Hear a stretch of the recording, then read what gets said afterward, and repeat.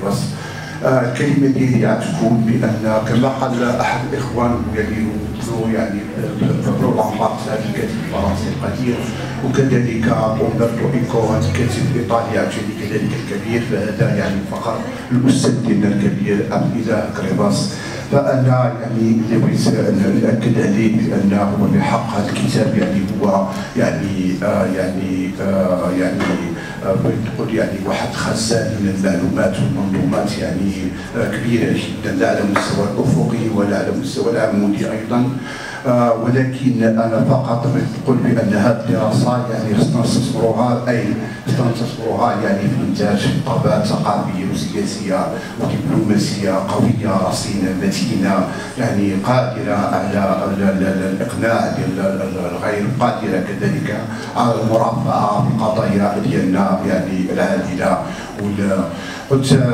إخوتي الكرام حتى لا أطيل على الجميع آه يعني آه كما كانت العرائش الحبيبة وحنا كنا ولاد العريش اللي ماشي ولاد العريش مرحبا بكم العريش وحنا صغار يعني آه كنلعبوا في هذه الازقه هذه التي حولنا وحنا باقي صغار. كنا دائما كنا كنشوفوا بأن شغل ديال التعايش اللي كانت العرائش الحبيبة.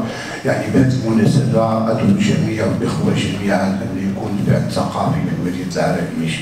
هو فعل يعني للاهتمام والتعايش والتسامح والتفاهم والتصالح.